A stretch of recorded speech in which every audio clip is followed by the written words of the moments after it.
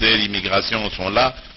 Euh, tout ça, nous, l'avons examiné euh, minutieusement, méticuleusement.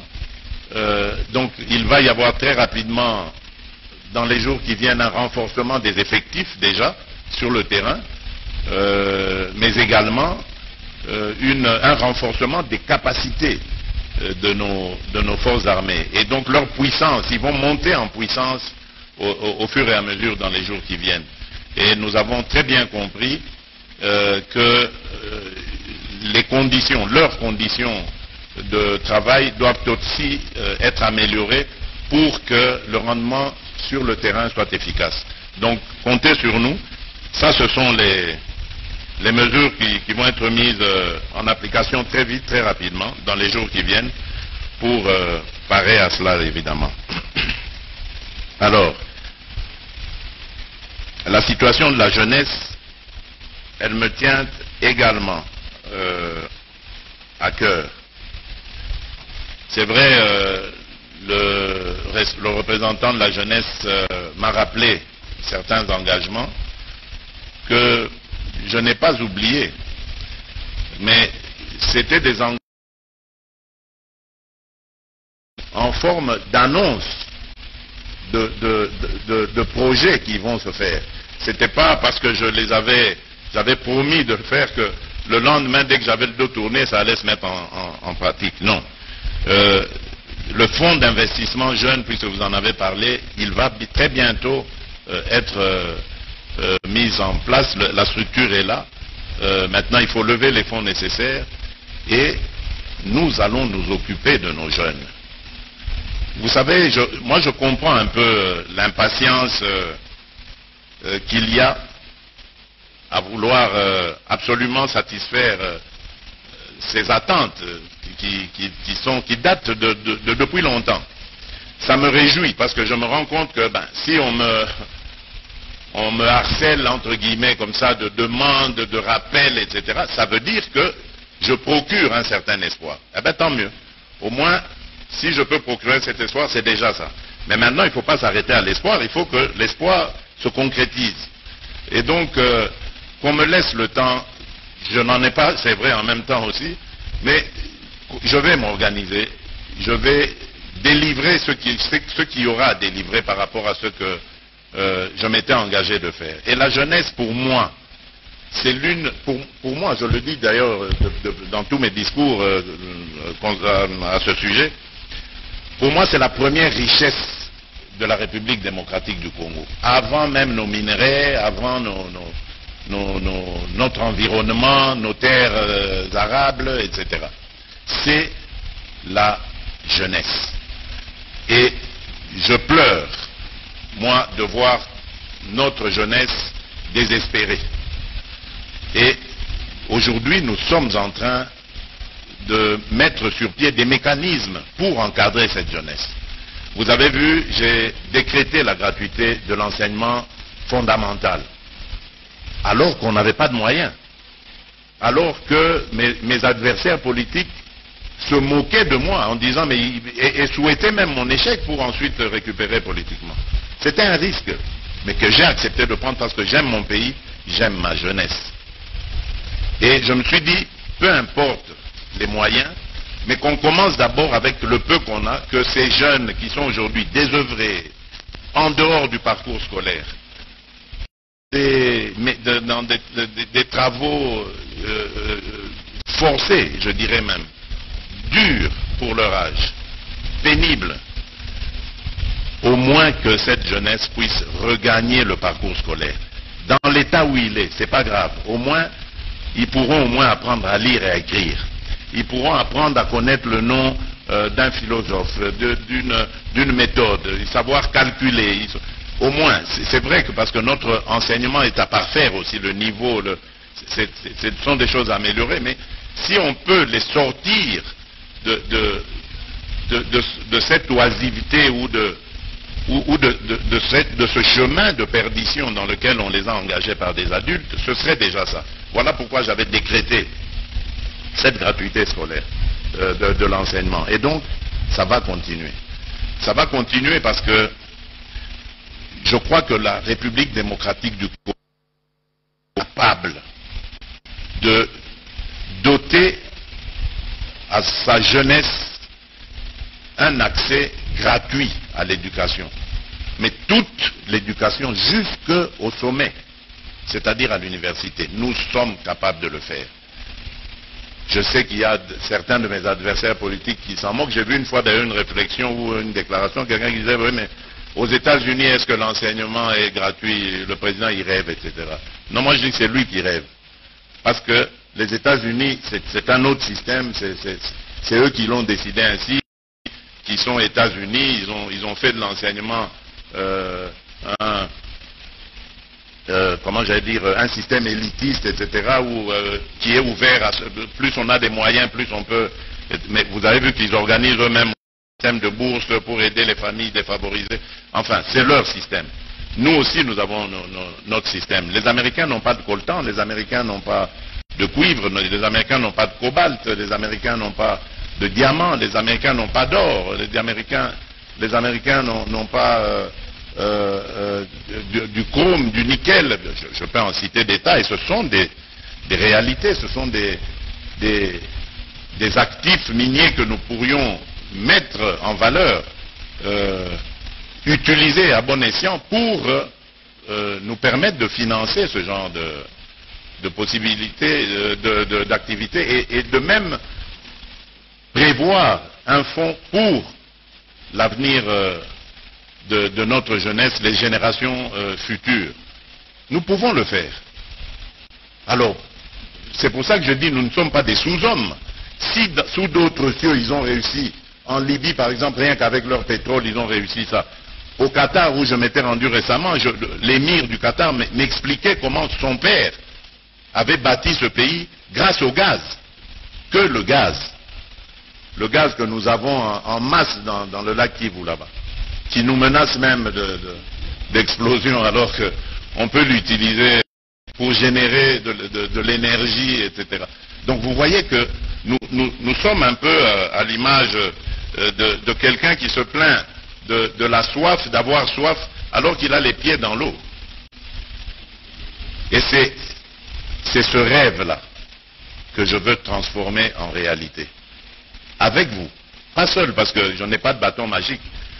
C'est avec vous que nous allons le faire. Mais vous devez croire en ça. Et c'est pour ça que je disais tout à l'heure, je comprends. Le Congolais, c'est au fil des années comme ça, désintéressé de son pays, découragé complètement, parce que les signaux peut-être que l'on émettait du sommet n'était pas rassurant ou, euh, assez incitatif, mes prédécesseurs, mais en tout cas, ma détermination, elle est sans faille, je peux vous la garantir. Je peux vous, vous le certifier, elle est là, ma détermination, et moi je l'offre. Et avec vous, ensemble, nous pouvons avancer et transformer ce pays. Et nous allons le faire. Parce que nous avons une jeunesse, nous avons une jeunesse ingénieuse, nous avons une jeunesse qui, à elle seule est, euh, compose la plus, plus près de 60%, voire plus de notre population, elle est active. Et ailleurs, comme dans les pays européens, on nous l'envie. J'espère que vous suivez les débats sur euh, euh, euh, le droit à la, retraite, à la, pension. Mais on se pose des questions de savoir, mais quelle est la population qui va produire ce que on payera aux personnes âgées, puisque la population va toujours de plus en plus en vieillissant. Et nous, on a une population qui va de plus en plus en rajeunissant, et nous nous plaignons d'être... mais non, non, il y a un problème. Ça veut dire que nous nous sommes tous désintéressés à un moment donné parce qu'on n'avait plus d'espoir. Moi, je veux redonner cet espoir. C'est tout, modestement, pas pour dire je suis, euh, moi j'ai la clé, j'ai la solution. Non, non, non. La solution, nous l'avons tous, en nous mettant ensemble et en luttant et en nous appuyant sur cette jeunesse. La jeunesse et l'autonomisation de la femme. Moi, je me bats pour ça. La femme doit jouer un rôle de plus en plus important dans ce pays. Et regardez dans les pays où ça marche, j'aime donner l'exemple des pays euh, du Nord, de, de l'Europe du Nord, euh, les pays scandinaves, où ils ont eu une avance euh, considérable, euh, même par rapport aux, Européens comme eux, comme les Européens de l'Ouest et tout ça. Ils ont mis la femme devant euh, et, leurs pays sont les meilleurs systèmes euh, économiques et sociaux du monde. Les pays où il fait le mieux vivre, ce sont les pays scandinaves. Donc, la femme est très importante. Nous devons euh, avancer culturellement aussi. Parce que je sais que euh, une des raisons justement du, retard que nous causons à la femme, c'est ce côté culturel. Où, euh, euh, par exemple, moi je- je- j'en sais quelque chose parce que je viens de, cette province-là, où on fait marier ses enfants à 12 ans, on l'envoie déjà, alors que c'est un bébé 12 ans. Un enfant de 12 ans, c'est un bébé. Donc, ce sont des choses comme ça qu'il faut dépasser. Il faut que la femme ait aussi, euh, dès son bas âge, accès à l'éducation, comme le jeune homme, qu'elle aille jusqu'au bout des choses, qu'elle ait les meilleures formations et qu'elle ait aussi, au sortir de là, les meilleures responsabilités. Et j'ai toujours dit, moi je souhaiterais vraiment que mon successeur à la tête du Congo soit une femme. En tout cas, si j'ai l'occasion de le promouvoir, je, le ferai, je, ferai cette promotion pour que euh, ce soit une femme. Bon, ça c'est autre chose, j'ai pas envie de soulever la polémique. J'ai pas envie que les hommes euh, m'en veuillent. voilà. Alors, euh, donc je peux, dire que la, la, femme, vraiment, c'est un de mes soucis. Je crois d'ailleurs que je, peux dire euh, quelques réalisations. Donc j'ai, depuis le 8 mars 2019, deux mois après mon, accession aux affaires, institué une habitude euh, maintenant, c'est de me réunir avec euh, un certain nombre, un groupe de, certain groupe de femmes que j'ai appelées les femmes d'exception. C'est des femmes responsables dans plusieurs domaines. Et donc tous les trois mois, tous les huit, tous les trimestres, donc euh, à chaque euh, huit de- du trimestre, euh, nous nous réunissons et nous faisons le point euh, de la situation quant à leurs droits, leurs activités et nous essayons de voir comment est-ce que nous pouvons davantage influer, impacter sur le- les- les- la bonne marche de la société. Et c'est vraiment une expérience formidable qui nous permet d'apprendre beaucoup de choses.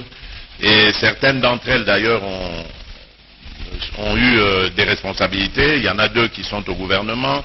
Euh, il y en a une qui est euh, au panel de l'Union africaine. Il y en a une que j'ai amenée récemment à Goma.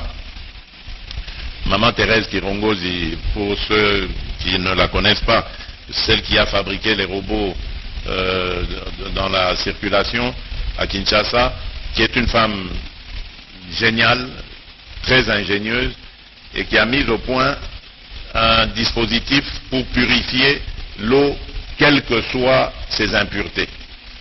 Et donc, euh, comme il y avait ce problème euh, comme de déplacer de Goma, euh, je l'ai amené donc avec moi et elle a, mis au, point son système et c'est en train de fonctionner. Et nous allons voir comment on va l'appuyer avec euh, des moyens pour qu'elle euh, grandisse de plus en plus.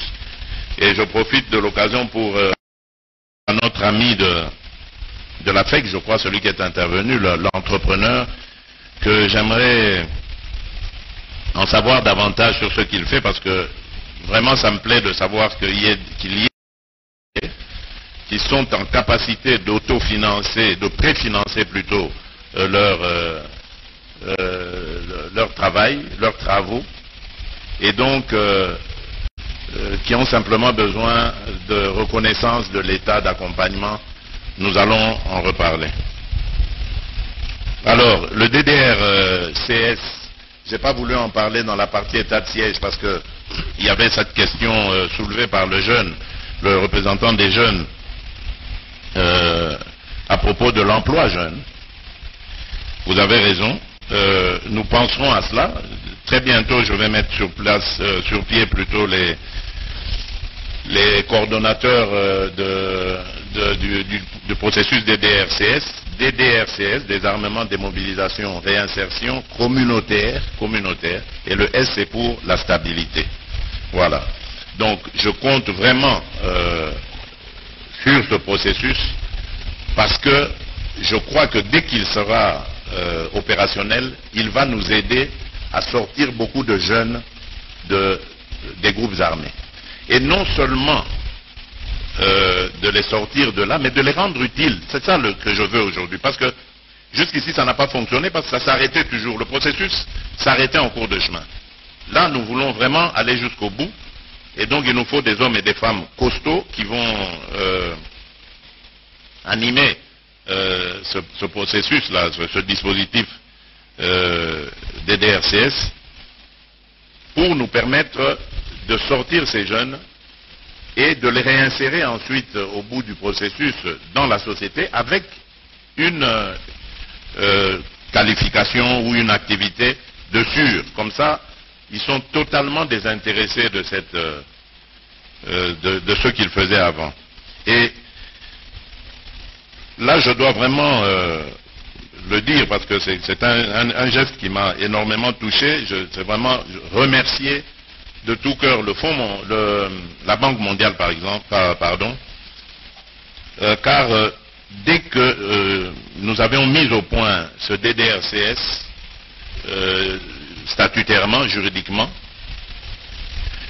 la Banque mondiale a d'emblée décidé comme ça d'allouer déjà, pour commencer, 50 millions de dollars à notre actif. Donc ça veut dire que nous avons déjà un fonds pour démarrer. On ne va pas chercher des moyens, devoir encore gratter dans, le budget. On a euh, des fonds de la Banque mondiale. C'est vrai que le budget aussi mettra, mais là, on est euh, on est paré euh, pour voir venir pendant encore quelques temps. Donc nous allons vraiment nous impliquer là-dedans. Donc là, puisque vous en parlez, je vous le promets, c'est avec la jeunesse que le DDRCS va travailler évidemment. Donc, euh, alors il y a la, société de Sokimo aussi. Madame, je vous salue, encore mes hommages. Euh, vous en avez parlé, mais moi je notais euh, pendant que le représentant des jeunes parlait, parce que ça faisait partie d'une de mes promesses. Je disais, il faut que la, Sokimo, se relève. Et c'est possible.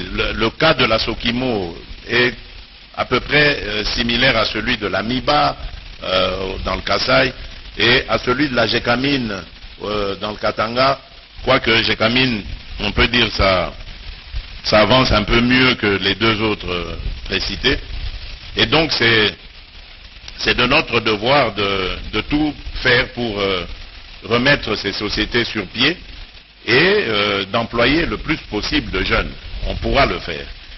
Et donc c'était euh, cette promesse-là. Pourquoi elle ne s'est pas encore réalisée? Mais parce que tout simplement, euh, les problèmes politiques avaient eu euh, beaucoup d'incidence sur la prise de décision dans, ce genre de, choses. Vous voyez, il y avait une certaine lourdeur politique à un certain moment. J'ai parlé ici de déboulonnage, si vous voyez ce que je veux dire qui, avait fait que, bon, euh, pour prendre des décisions, c'était assez lourd, il fallait euh, euh, toujours discutailler, traîner, etc. Mais aujourd'hui, qu'on a les coudées franches, on pourra avancer clairement. Alors, oui, donc je crois que pour la jeunesse,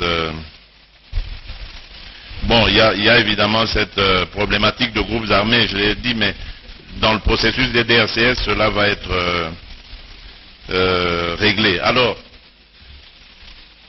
il y a quelque chose que vous avez dit qui, m'a vraiment euh, touché particulièrement. Euh, c'est vrai, vous avez parlé des Itouriens, mais c'est le sentiment que je perçois chez tous les jeunes. C'est celui de penser que ils sont oubliés. Non, nous n'avons pas oublié la jeunesse. Et c'est pour ça que je vous parlais de, de toute cette déstructuration de notre société qui, a fait que les jeunes ne croient plus, les jeunes ne, sont plus euh, euh, animés d'espoir, etc. Mais aujourd'hui, moi, le signal que je veux donner, c'est que l'État veut s'occuper de la jeunesse. Mais attention, pour euh, danser le tango, comme on dit, il faut être à deux. Donc moi, je veux danser le tango, mais il faut que la jeunesse vienne aussi, on va danser avec elle. Sinon, ce n'est pas, pas possible. Euh, je, vais parler comme euh, si je prêchais dans le désert, et devant, en face, il n'y aura rien. Les jeunes doivent croire que je leur veux du bien, que je ne veux pas les utiliser à des, de villes besognes. Non, moi, je veux les utiliser pour ce qu'ils sont. J'ai parlé du fonds d'investissement jeune, c'est pour leur donner. Je connais notre jeunesse, je sais qu'elle est ingénieuse. Nos jeunes, ils, font des choses, des miracles. J'en ai sponsorisé quelques-uns, je ne fais pas de bruit à Kinshasa. Je, remarque sur les réseaux qu'il y a un jeune dynamique, je demande qu'on prenne contact avec lui. En silence, je lui demande qu'est-ce qui le, le boosterait euh, dans ses activités et je donne euh, les moyens à ma disposition et voilà. Donc je, me suis euh, prêté souvent à ce genre de, choses, mais j'ai soif de le faire à, un échelon plus large. Et donc, il faut mettre euh, sur pied un fonds de garantie pour que les jeunes puissent accéder au crédit et mettre en application ce qu'ils ont de, comme idée, comme, comme, initiative. Et c'est ce que nous sommes en train de faire. Euh, en même temps, euh, qu'un un, fonds d'investissement aussi pour, que, pour voir comment est-ce qu'on peut euh, les accompagner. Je vous l'ai dit, je le redis encore, pour moi, la première richesse de ce pays, c'est sa jeunesse. Si nous ne savons pas utiliser euh, cette richesse, nous n'arriverons à rien du tout. Et je, constate aussi que c'est pareil, même pour les, richesses naturelles, les ressources naturelles que nous avons. Nous n'arrivons jamais à les, capitaliser. Et, c'est ça le grand défi, en fait. Au-delà de, tout ce qu'on peut dire euh, sécuritaire et tout, c'est ce, défi-là, la jeunesse. Si on réussit à l'encadrer, on va régler les problèmes de jeunesse. Si on réussit à l'encadrer, on va régler les problèmes de chômage. Si on réussit à l'encadrer, on va régler les problèmes du développement de notre pays. Parce que dans la construction, dans, dans euh, l'agriculture, dans, dans, tout ce qu'on peut imaginer, dans le numérique, qui est aussi un créneau que je suis en train de favoriser pour la première fois. Nous avons maintenant un ministère du, numérique, mais il n'y a que avec la jeunesse qu'on peut faire des exploits dans ce genre de, activités. Donc vous comprenez bien qu'il faut que cette euh, jeunesse croit euh, qu'on veut faire quelque chose pour elle et qu'elle ne reste pas bras croisés en se disant bon on va regarder, nous on attend qu'on nous donne de l'argent, qu'on nous donne des t-shirts pour aller danser, pour... non. Qu'elle nous interpelle, qu'elle vienne vers nous et dans, euh, cet échange qu'il y aura avec elle, nous allons trouver les voies et moyens de, la promouvoir. Alors, euh, oui, il y avait une question aussi, que faire des communautés étrangères qui, entretiennent la violence, n'est-ce pas? Bon, c'est vraiment une problématique euh, assez bizarre, mais qui est encore une fois liée au phénomène de nos frontières qui sont poreuses et de notre administration qui est absente.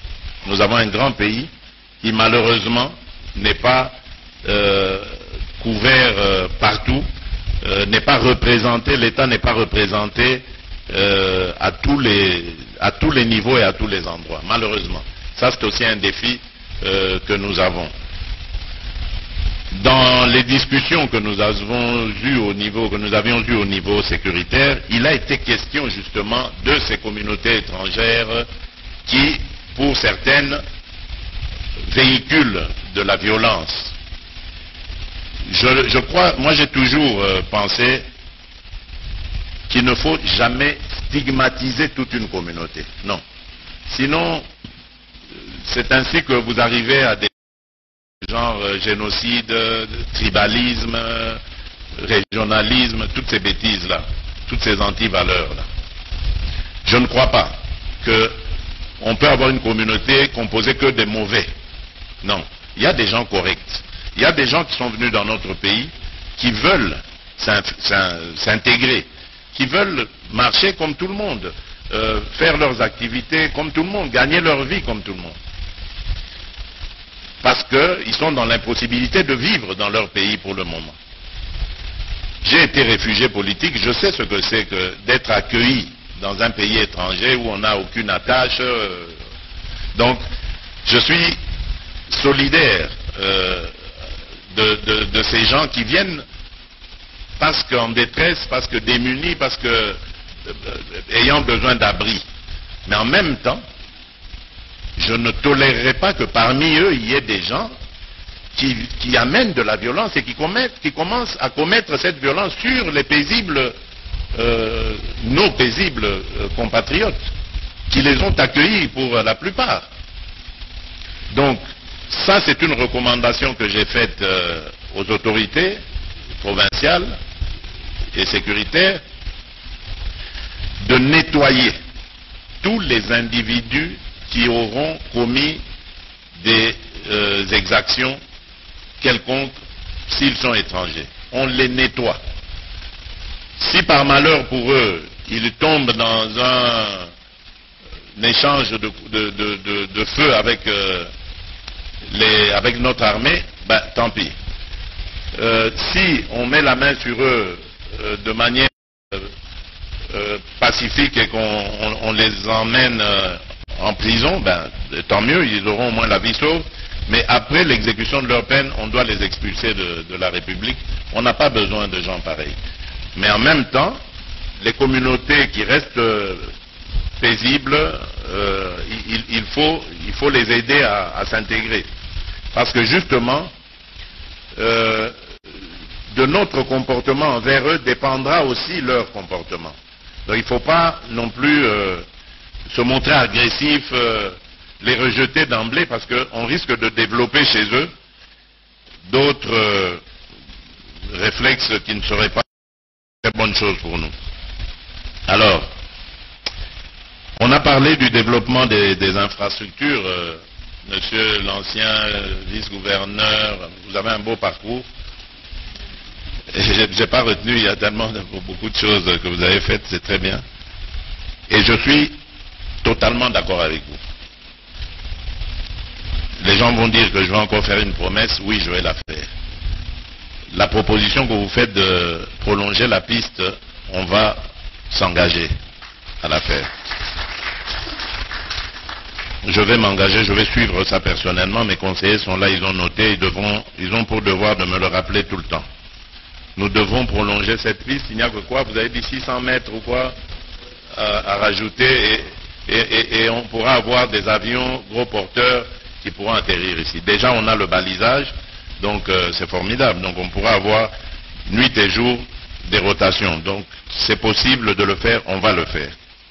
Je suis d'accord avec vous, il faut continuer à développer les infrastructures. Et là, je reviens peut-être sur la première intervention de Madame euh, la ministre provinciale, députée, qui a aussi un beau parcours, euh, pour lui dire, oui, Madame, la RN 27, je pense, si je ne me trompe, c'est celle qui vient de Mahagui, n'est-ce pas? Voilà.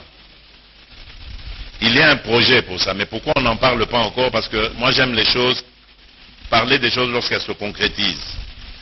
Mais il y a un projet pour ça. Euh, pourquoi est-ce que ça a été euh, beaucoup plus vite euh, celle de Kassindi, Beni, Boutembo? Ben Parce que les moyens se sont présentés direct.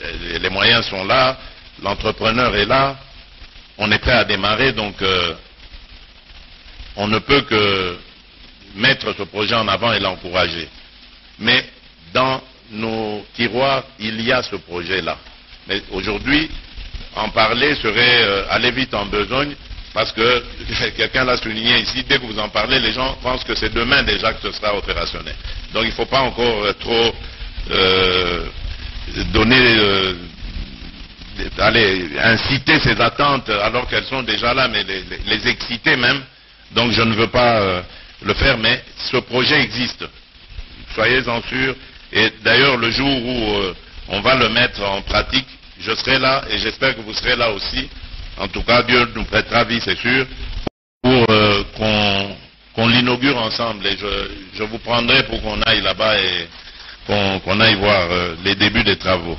Mais ça existe. Mes conseillers sont là. Euh, je vois euh, Jean-Claude, je vois Pacifique. vous savez que c'est... Bon. Donc, euh, on n'en dira pas plus.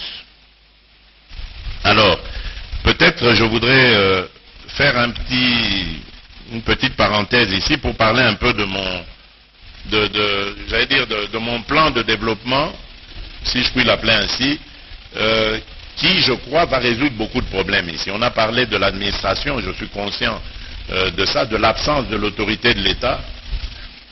Et moi, je crois que le Congo, cas particulier. Nous avons un pays de 2 345 000 kilomètres carrés. C'est pas, pas évident. Euh, ceux qui ont été en Europe, vous voyez la superficie des pays de l'Europe de l'Ouest. Donc vous prenez la France, l'Allemagne, la Belgique, l'Italie, l'Espagne, le Portugal. Donc vous prenez tous ces pays ensemble, c'est ça la République démocratique du Congo. C'est 80 fois la Belgique, 4 fois et demi la France. C'est énorme, c'est un grand pays, c'est un demi-continent. Donc je ne pense pas que on va, par des thérapies euh, sélectives comme ça, régler ça. C'est pour ça que j'ai pensé à un plan global. On part des territoires, donc de la base. On en a 145 dans ce pays. Et on va doter chaque territoire d'un budget. Et là, nous sommes en ce moment en train de concevoir le, programme et même d'élaborer ce budget. Et surtout d'en trouver les sources. Nous les trouverons. Moi, je suis convaincu que nous les trouverons. Je vous ai parlé de nos actifs miniers et autres. Nous trouverons cet argent. Parce que les miniers, eux, ils viennent, ils se font beaucoup d'argent dans notre pays et nous, nous restons pauvres. C'est pas normal. Ça veut dire qu'il y a de l'argent quelque part qui nous, qui nous passe sous le nez. Et quand on regarde certains comptes en banque de Congolais qui ont gravité autour de ces miniers, là, on comprend où va l'argent. Bon, ça c'est une autre, une autre histoire. Je n'ai pas soulevé la polémique. On trouvera cet argent. Et je, veux des administrateurs du territoire qui soient euh, aptes à le faire. Donc il y aura sûrement encore des bouleversements. Et nous avons une bonne réserve. Euh, nous avons une, euh, école euh, formidable ici au Congo, à Kinshasa. notre ENA a, fabriqué beaucoup de, commis de l'État, de grands commis de l'État. Et nous pouvons puiser, nous avons une réserve. Je, parle de ça, mais il y a aussi ailleurs. Donc on a beaucoup de cerveaux dans ce pays qui chôment, qui demandent de l'emploi. On trouvera les bons administrateurs de territoire qui, grâce à ce budget, vont nous aider à nous développer à partir de la base. Donc, il n'y a pas mieux que pour connaître les problèmes des territoires. Et donc, la première mission de ces territoires sera de relier le, territoire voisin. Chaque territoire aura pour mission, sera doté d'une brigade routière, d'une brigade agricole. Mission reliée, même euh, encore sur de, la terre, euh, comment on dit ça, terre battue, peu importe, mais au moins de rendre des routes praticables dans un premier temps, en attendant qu'on génère de la richesse et plus tard qu'on puisse asphalter. Ce sera ça la, mission, donc euh, relier les, les territoires voisins, le ou les territoires voisins, euh, doter le territoire d'eau et d'électricité, même par des forages et par le, solaire, l'énergie solaire, on verra petit à petit comment est-ce qu'on ira dans l'hydroélectricité, on verra. Doter le territoire d'infrastructures euh, administratives, donc euh, tribunal, euh, on a parlé de, la maison même qui va abriter le, siège de, l'administration même du territoire, enfin, école et école, de, je veux dire, de référence et hôpital ou centre de santé de référence. Voilà, on va partir dans des choses comme ça pour commencer. Et petit à petit, euh, nous allons euh, évoluer Et je suis sûr que dans les années qui viennent, et ça va aller assez rapidement, euh, grâce aux efforts évidemment que nous allons fournir au niveau du sommet de l'État, l'impulsion que nous allons donner, nos territoires vont avancer sous le contrôle évidemment des provinces qui elles-mêmes seront contrôlées par le gouvernement central. Je crois que ça va aller. Donc c'est ce qui est en train de se faire maintenant, qui se conçoit en ce moment au niveau du gouvernement euh, et au niveau de la présidence. Et le moment venu, euh, lorsque nous serons prêts, je pense cette année en tout cas, j'espère, avec les fonds et avec le programme fignolé, finalisé, nous allons euh, le présenter à la nation et euh, vous verrez que ce sera un début euh, de, quelque chose. Et là, nous aurons besoin de toutes les mains. On a parlé de la jeunesse ici. Nous aurons besoin de, tout le monde, tous nos jeunes qui sont médecins et qui sont au chômage, tous nos jeunes qui sont dans l'enseignement ou qui veulent en faire, tous nos jeunes qui, sont, qui veulent construire, qui veulent aller dans la construction d'infrastructures, la maintenance de nos routes, il faudra maintenir ces routes. Euh, euh, j'ai parlé de brigades agricoles, mais on aura besoin de, jeunes dans, l'agriculture, euh, parce que là, nous allons avoir des routes, nous allons produire, et il y en aura suffisamment pour nourrir le peuple, mais également sûrement pour exporter et donc créer de la richesse. Donc voilà, je, crois que j'ai voulu vous en parler pour répondre en tout cas aux soucis euh, que les uns et les autres ont exprimé ici, et euh, vous montrer que nous sommes déterminés. Nous, ne sommes là que depuis deux ans et demi, euh, avec les, les, complications que nous avons connues, etc. Mais nous ne sommes pas découragés, notre détermination reste sans faille. Les dossiers sont multiples, mais ça ne nous effraie pas. Nous allons les aborder parce que c'est notre mission parce que c'est notre devoir de servir la nation, de servir les Congolais. Nous sommes au service des Congolaises et des Congolais.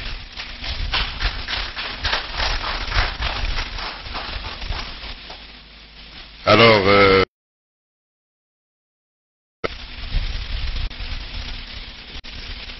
oui, euh, je, la, question euh, de, la FEC, je pense, avait posé, en tout cas c'est en rapport avec le business. Oui, c'est lui d'ailleurs, par rapport au code d'investissement. Oui, ce n'est pas juste, ce n'est pas normal, ça je vais le vérifier. Ce n'est pas normal, le code d'investissement, il est national, il n'est pas sectaire. Euh, donc ce n'est pas normal qu'il ne soit pas d'application ici.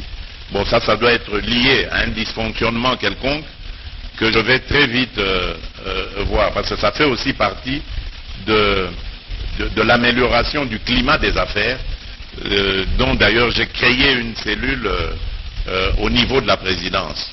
Donc, nous devons, je vais très vite en rentrant, poser ce problème à mes collaborateurs pour voir dans quelle mesure on peut suivre à la fois pour Ituri, mais aussi ailleurs. Peut-être que le problème que vous, vous posez se présente aussi ailleurs, et là vous avez même, euh, euh, je veux dire, euh, aidé vos compatriotes d'ailleurs à, accéder aussi à, bénéficier de ce code.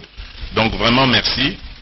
Nous allons nous mettre très vite à la tâche pour savoir ce qui se passe et pourquoi est-ce qu'il n'est pas d'application ici en, en Ituri. Oui, alors donc par rapport à ce que vous avez dit euh, pour le préfinancement, idem aussi. Je ne vais pas dire de bêtises en, vous orientant euh, d'une manière ou d'une autre, mais c'est très important de savoir avec qui vous devriez passer euh, cet accord. Est-ce avec gouvernement central ou avec la province Très vite, on le saura. Je ne sais pas si quelqu'un peut déjà répondre à cette question ici. sinon, prenons le temps de réfléchir et de répondre à notre compatriote qui est à encourager. Moi, je vous encourage et vraiment, je suivrai votre évolution. Je veux que vous obteniez ce contrat-là, que vous, vous fassiez ces tronçons de route ici, à l'intérieur de Bougna, et que, pourquoi pas, on a parlé ici de, relier les, territoires, pourquoi ne pas avoir aussi euh, cette tâche aussi de, le, faire? Donc vraiment, comptez sur moi et sur mon accompagnement, on va, le faire. Alors, euh, oui, Madame de Sokimo, je reviens à vous. Euh, l'idée de la brigade minière, bon, je, crois qu'elle dépend de la société Sokimo. Je ne sais pas, je ne sais pas comment ça se passe, mais je crois que c'est la Sokimo qui doit le faire.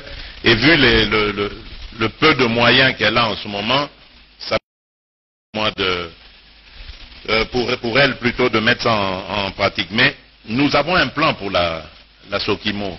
Nous avons une nous avons eu quelques contacts euh, destinés à redonner ces lettres de noblesse à cette entreprise. Donc là aussi, je ne vais pas en dire euh, davantage. J'attends de voir la finalité de, ces discussions euh, parce que mon souci était celui-là. Et je l'ai dit à ces partenaires. C'était l'une des conditions d'ailleurs pour discuter, conclure quelque chose avec eux c'était qu'on s'investisse ensemble pour relever la Sokimo et lui donner, redonner ses lettres de noblesse. Et donc à partir de ce moment-là, je crois qu'elle sera en mesure d'engager et de se, protéger justement avec cette brigade minière pour empêcher euh, l'orpaillage euh, sauvage. Parce que, évidemment, ce sont des, fuites euh, de, moyens de rentrer pour le trésor euh, public et nous devons tout faire pour empêcher cela. Idem pour la production artisanale dont les, retombées nous échappent. Euh, mais ça, on en a parlé d'ailleurs, je crois, hier encore, je pense, avec certains de mes collaborateurs. Ça, c'est dû sûrement à euh, un problème fiscal de notre, système fiscal qui, est très très mal, euh, euh, qui n'est pas très attrayant en ce moment et qui décourage même nos propres compatriotes. Vous voyez que je parlais de patriotisme ici, du Congo qui ne qui n'intéresse plus ses propres habitants et qui, préfère aller ailleurs. Voilà un exemple patent de, ce que nous commettons comme erreur et qui pousse nos compatriotes à regarder ailleurs, sous d'autres cieux. Et, ça, ce n'est pas normal. Donc nous pouvons discuter. Et aujourd'hui, euh, euh, encore euh, plus qu'avant, nous avons, avec notre admission dans l'East African Community, la, possibilité de jouer d'égal à égal avec les, pays voisins. Donc nous n'avons plus grand-chose à craindre et surtout pas faire peur à nos propres entrepreneurs à nos artisans qui vont, à, nos artisanaux là, qui vont partir euh, dans les pays voisins pour écouler des produits exploités chez nous. Ce n'est pas normal. Donc ça aussi, ça fait partie de nos, objectifs. Euh, il y a cette réforme fiscale qui se fait de plus en plus euh, nécessaire, urgente. J'en ai parlé avec le nouveau ministre des Finances. Déjà même le sortant avait reçu ce mandat-là de, réformer notre système euh, fiscal, je crois qu'il n'a pas eu le temps avec euh, tout ce qu'il y a eu au niveau politique, mais cette fois, c'est l'une des tâches principales du, nouveau ministre des Finances et je crois se mettre euh, très vite au travail. Alors, notre ami étudiant, oui, bon, je suis totalement solidaire avec ce que vous avez dit de la violence sur l'enseignement. Je sais que ça a beaucoup, euh, euh, comment j'allais dire, euh, fait de dégâts, impacté sur, nos, nos jeunes. Je ne peux que faire un constat malheureux et vous répondre un peu comme je l'ai dit tout à l'heure, c'est-à-dire par la détermination que nous avons, non seulement de mettre fin à cette violence, non seulement de sortir les jeunes de ces groupes armés et de les remettre dans la vie normale, non seulement d'assurer la gratuité, nous avons commencé avec le niveau euh, fondamental, nous irons euh, plus haut au fur et à mesure que les moyens euh, seront là et nous allons les générer, on le voit aujourd'hui, notre économie, nos recettes s'améliorent de, plus en plus et ça va continuer. On a parlé de la production artisanale qui fouillent dans des pays voisins. Il faut recadrer tout ça, il faut ramener tous ces moyens et donc les mettre au service des institutions d'enseignement, du système plutôt d'enseignement, du système de santé aussi, parce qu'on a parlé de, la gratuité de l'enseignement, de l'éducation, mais je n'ai pas parlé d'un autre projet que j'ai qui est en, marche en ce moment euh, vers sa concrétisation, c'est celui de l'accès aux soins de santé aussi, de, l'accès universel. Tous les Congolais pourront se faire soigner dans euh, les centres de santé de leur choix et de manière gratuite, libre. Donc, euh, c'est aussi euh, ça que nous essayons de mettre, euh, nous sommes en train de mettre sur pied. Ça a été retardé malheureusement par toute cette année 2020 de Covid qui nous a vu devoir déplacer les moyens pour faire face à la pandémie. Nous espérons que cette année, on aura cette possibilité malgré la recrudescence que l'on observe. Bon, la problématique des frais académiques, euh, j'ai le ministre de l'enseignement euh, supérieur ici et universitaire, je ne sais pas si vous voulez dire quelque chose, vous le direz. Nous, bon, moi j'ai très peur de m'avancer là-dessus parce que euh, on va dire encore, ah mais il a promis qu'on allait rabaisser nos frais et puis on paye. Moi, c'est vraiment un vœu, c'est un vœu que j'aimais, je souhaite vraiment que cette problématique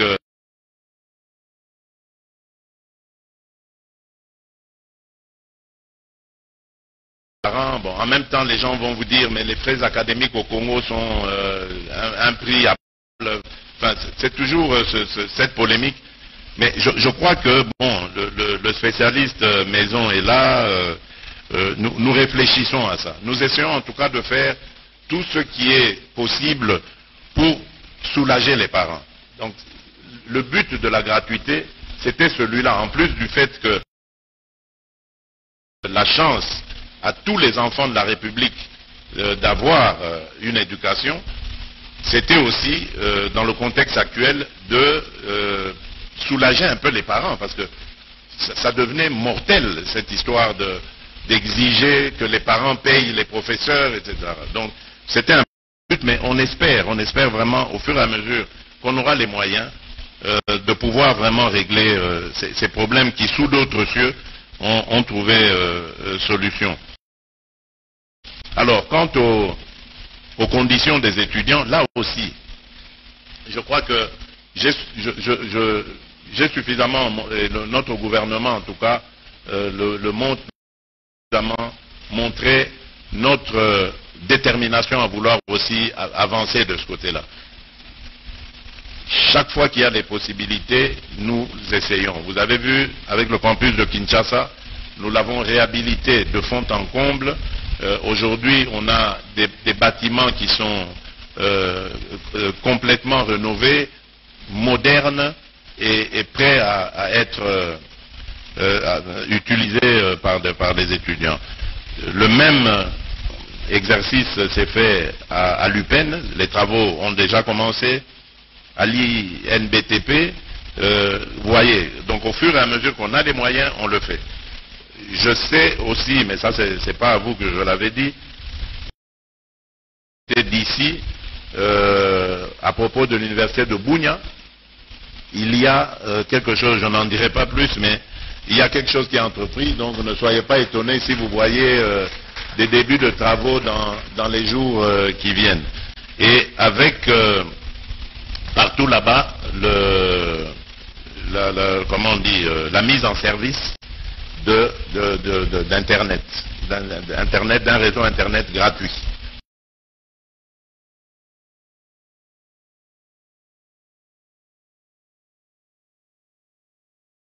Donc on l'a fait à,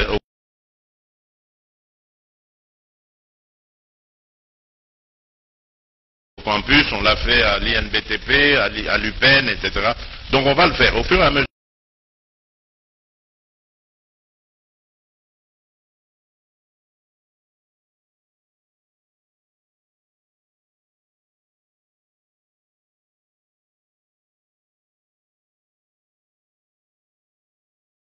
L'amour de ce pays et, de leurs compatriotes. Donc, comptez sur moi.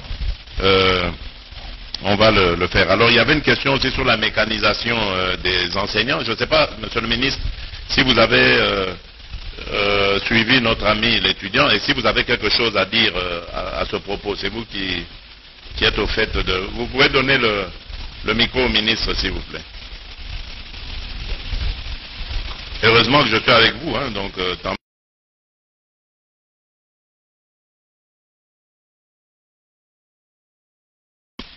La question qui a été posée est en train d'être abordée dans le cadre de notre gouvernement.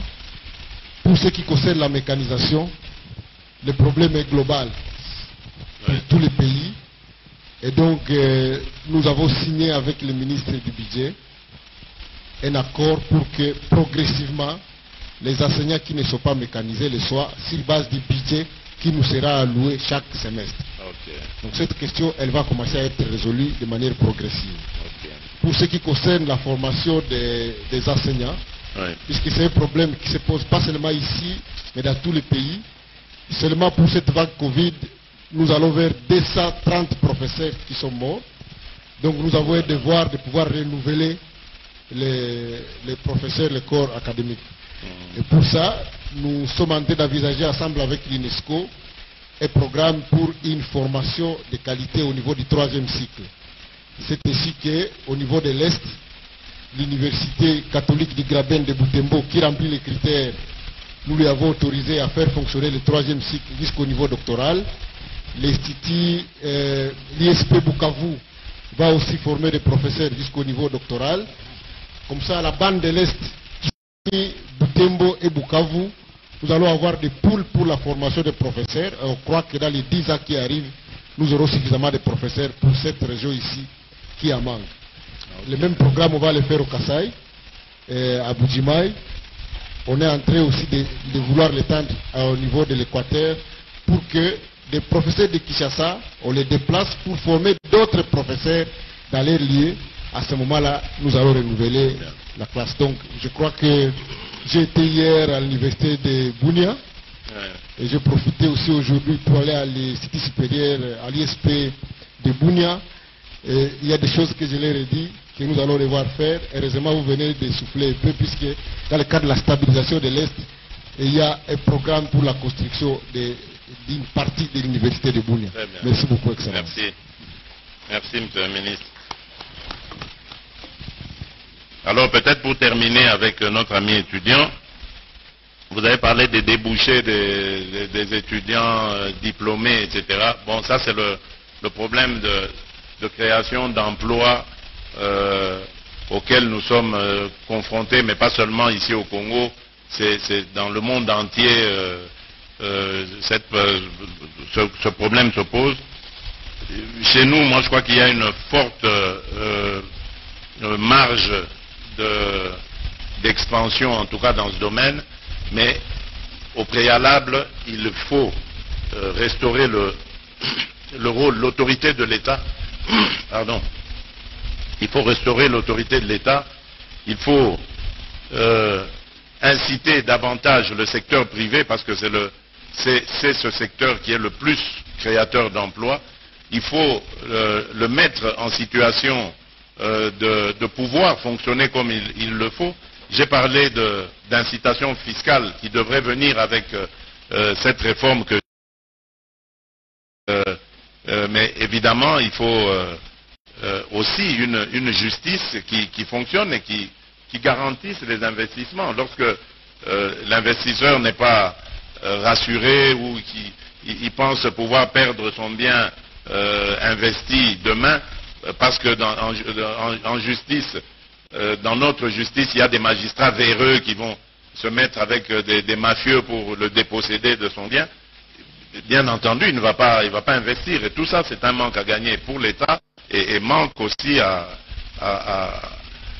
employer, j'allais dire, pour euh, euh, cette jeunesse euh, qui demande de, l'emploi. Donc je crois que c'est un effort que l'État doit, fournir, j'en suis conscient, et nous allons le fournir. Je, ne, sais pas quand, ça se fera au fur et à mesure. C'est un problème d'ailleurs qui sera là, toujours, de génération en génération, ce problème se posera.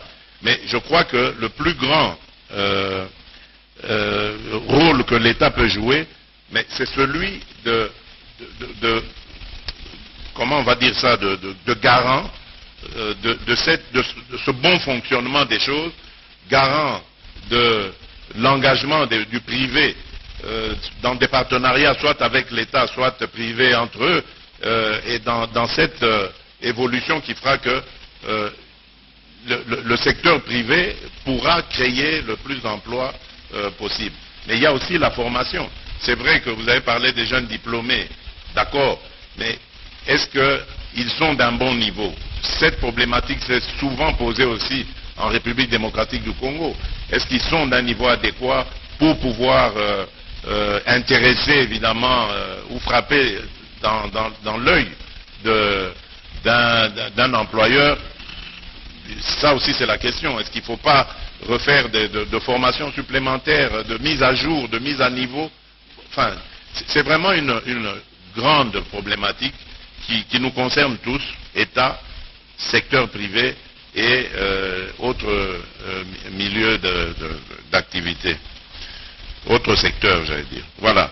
Donc je, je crois que euh, ce que je tenais à dire ici, parce que j'ai épuisé tous les, les sujets, à moins que j'en ai oublié un, je ne sais pas si on peut, on va me le rappeler, mais euh, ce que je voulais dire, euh, oui maman,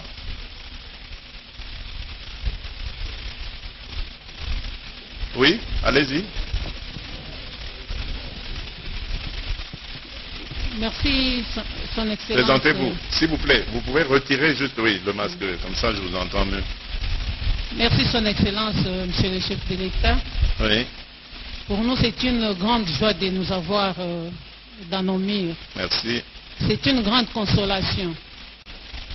Comme vous avez soulevé les problèmes des femmes, c'est surtout les mamans qui, je suis Madame Massanka, ma gloire, Ok. je suis chargée de l'administration et la sous-traitance des documents.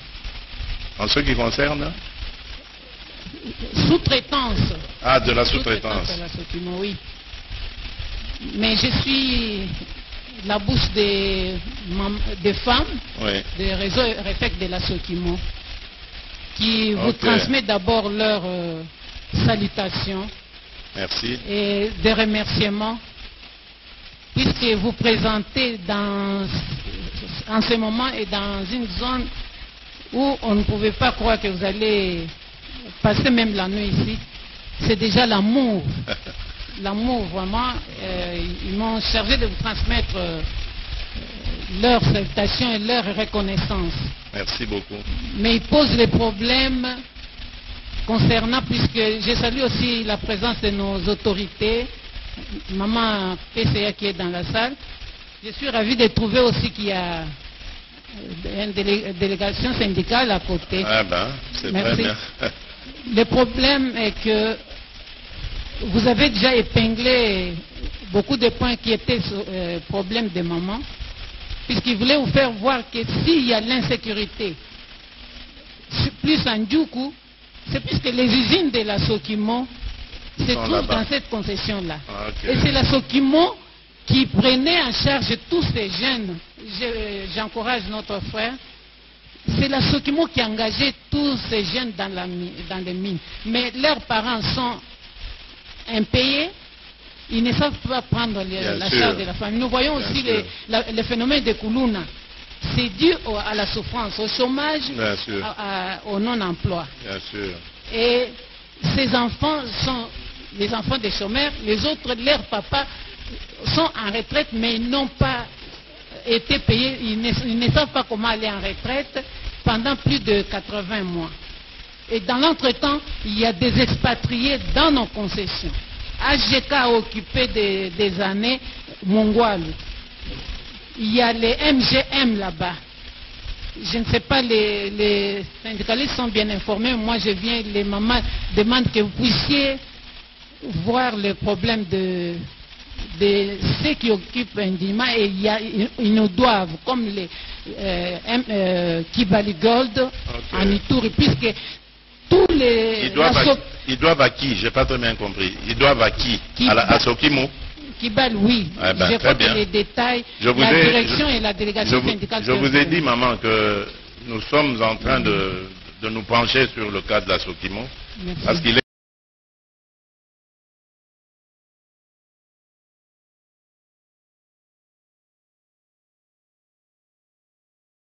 question, question de la relancer, lui redonner ses, ses lettres.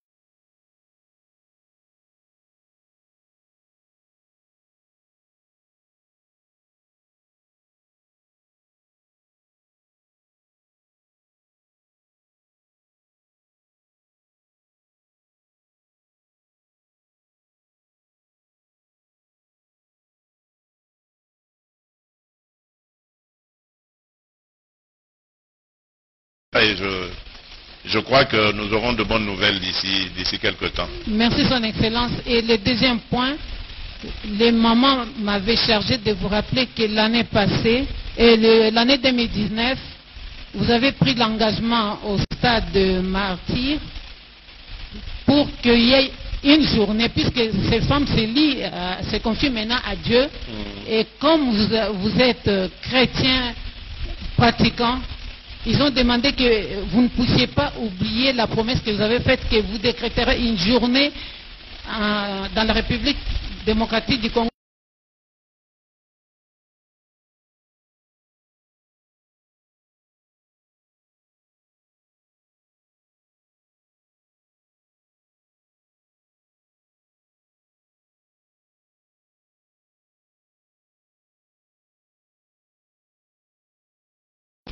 Vous réponds directement pour ça, pour dire euh, que l'année 2020, il y a eu cette journée. C'était la dernière de, de l'année. Rappelez-vous, le 31 décembre, si vous avez regardé à la télé, moi j'ai- présidé d'ailleurs, euh, enfin c'était plus une soirée, Euh, parce que justement les hommes de Dieu avec qui je, partage la foi, m'ont rappelé cela l'année dernière et c'est moi qui avais décidé, en fait, j'ai dit, mais voilà, cette année a été une année très difficile euh, pour le monde entier, mais aussi particulièrement pour nous, on a perdu des proches, etc.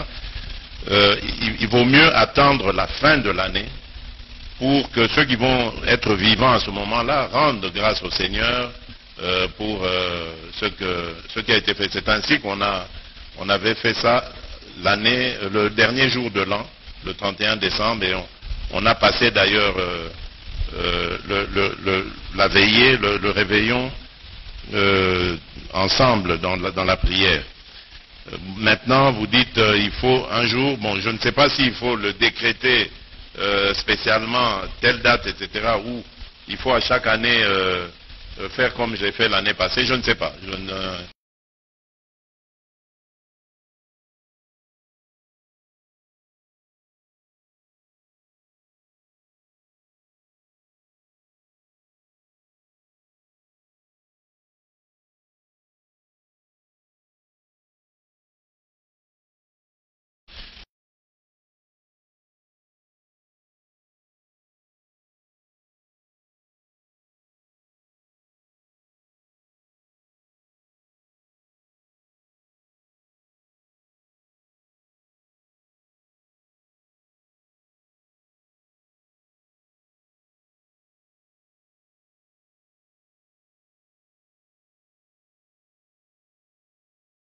Ça, je ne sais pas encore, on, verra, mais euh, croyez-moi, ce que j'ai fait comme promesse, je l'ai respecté.